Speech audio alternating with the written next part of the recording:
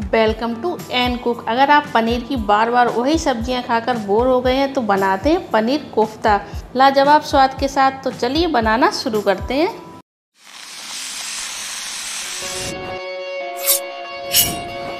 तो पनीर कोफ्ता बनाने के लिए हम ले लेते हैं 250 ग्राम पनीर। तो सबसे पहले इसको ग्रेट करेंगे। सबसे पहले इसे इस तरीके से कद्दूकस कर लेते हैं। तो ये हमारे घर का बना हुआ पनीर है। इसलिए इसमें घी की मात्रा बहुत अच्छी है। तो इसीलिए थोड़ा इसे कद्दूकस करने में प्रॉब्लम हो रही है क्योंकि अभी ये फ्रिज का रखा हुआ है। लेकिन आप थोड़ा सावधानी से करेंगे तो बहुत आराम से हो जाएगा। अगर आप अपने घर के बने पनीर से पनीर कोफ्ता बना रहे हैं तो उसका टेस्ट रियल में बहुत अच्छा आता है। तो पनीर तो हमारा कद्दूकस हो गया है। अब हम आगे का प्रोसेस करते हैं। अब हम ले लेते हैं एक बड़े साइज़ का आलू। इसे भी हमने कद्दूकस करके रखा है। इसे इसमें मिक्स कर देते हैं। अब हम ले लेते हैं एक बड़ा चम्मच मिल्क पाउडर दो चम्मच कॉर्नफ्लोर अब हम इसमें डालेंगे आधा चम्मच नमक और आधा चम्मच गरम मसाला। अब सभी चीज़ों को हाथ से मैश करते हुए अच्छे से मिक्स कर लेंगे। तो हमें एकदम से चिकना डो बनाना है तो इसे बहुत अच्छे से हमें मैश करना है इस तरीके से।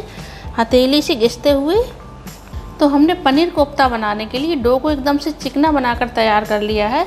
अब हम इसके छोटे छोटे से गोले बनाएँगे, जिस तरीके से हम गुलाब जामुन बनाते हैं। थोड़ा सा डो ले लेते हैं और एक नींबू की साइज़ के गोले बनाकर तैयार करेंगे। तो हमने बराबर साइज़ की लोइयाँ बनाकर तैयार कर ली हैं। यानी कि एक नींबू की साइज़ की। अब इनको थोड़ा सा हथेली पे रख के इस तरीके से चिकना कर लेंगे। तो एकदम से हमें गुलाब जामुन की तरह चिकना बनाना है।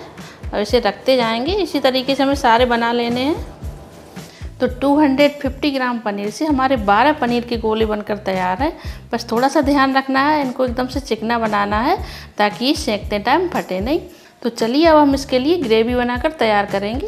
तो इसकी ग्रेवी बनाने के लिए हम लेंगे एक मीडियम साइज़ का प्याज, जिसके हमने छिलके हटा के रखे हैं, और एक मीडियम साइज़ का टमाटर, आठ से दस काजू, चार से पाँच लहसुन की कलियाँ, दो दालचीनी के टुकड़े, एक जावित्री का टुकड़ा, आठ से दस लौंग, आठ से दस काली मिर्च, और एक इलायची। तो सारी चीज़ों को हम बारीक पीस कर तैयार करेंगे।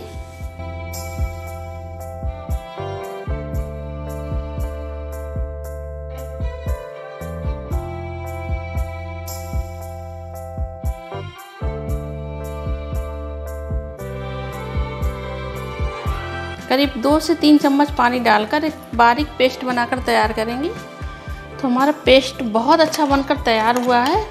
तो हमें इस तरीके का बारीक पेस्ट चाहिए। तो इसे हम रख देते हैं साइड में। तो गैस पे कढ़ाई को गर्म होने के लिए रख देंगे। तो कढ़ाई हमारी हल्की गर्म हो चुकी है। इसमें डाल देते हैं ऑयल। ऑयल तो हमारा अच्छे से गर्म हो चुका है। गैस का फ्लेम मीडियम कर देंगे और पनीर कोफ्ता फ्राई करते हैं।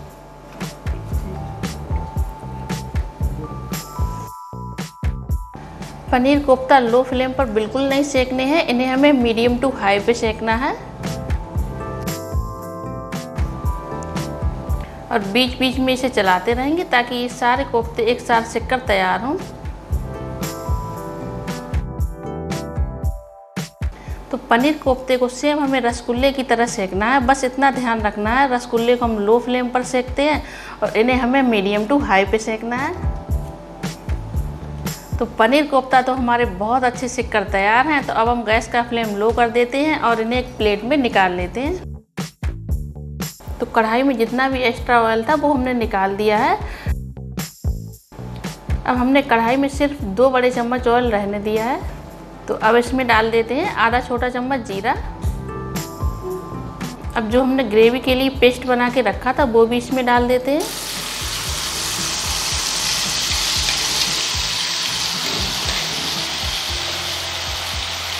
तो ग्रेवी को हमें तब तक भूनना है जब तक कि इसका ऑयल सेपरेट ना होने लगे। तो ग्रेवी लगभग हमारी भूनकर तैयार है। इससे जो ऑयल है वो सेपरेट होने लगा है। तो अब हम करेंगे स्पाइसेस का यूज़ अब हम ले लेते हैं एक छोटा चम्मच हल्दी पाउडर एक छोटा चम्मच कश्मीरी लाल मिर्च पाउडर एक छोटा चम्मच लाल मिर्च पाउडर एक छोटा चम्मच धनिया पाउडर नमक अपने टेस्ट के अकॉर्डिंग मसालों को थोड़ा सा और भून लेंगे, दो से तीन मिनट के लिए। तो हमारे मसाले भी बहुत अच्छे भुनकर तैयार हैं। तो अब हम इसमें डाल देते हैं वन थर्ड ग्लास पानी।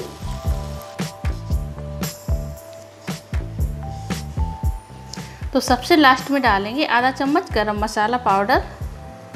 इसको मिक्स कर देते हैं और 10 मिनट ग्रेवी को पकने देते हैं। गैस का फ्लेम लो रखेंगे। तो ग्रेवी को पकते हुए 10 मिनट हो गए हैं, अब हम इसे चेक करेंगे।